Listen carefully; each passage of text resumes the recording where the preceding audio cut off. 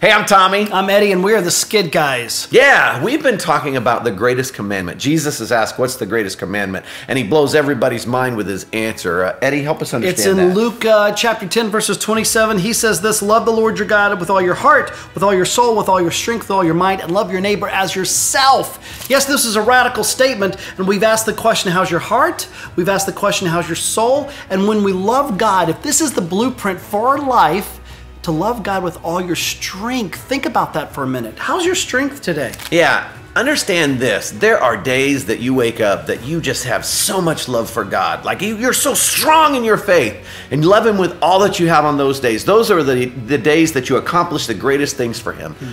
But there's going to be those days that you wake up and it's just a tough one and you're struggling in your faith and you're not that strong spiritually. That's okay.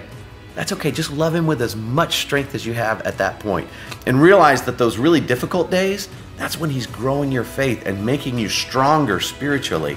So, where, no matter where you are, no matter how strong you feel spiritually, just love Him with all the strength that you have.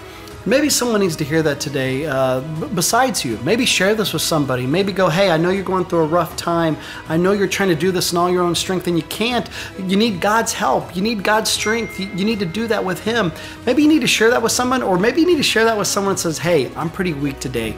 I could use some encouragement. I could use some love. I could just be lifted up by you. That would be so great. We can't do this alone. Yeah, remember, Jesus doesn't say to love Him perfectly. Hmm. He just says love Him with all the strength you've got to love Him. You got this. Be encouraged.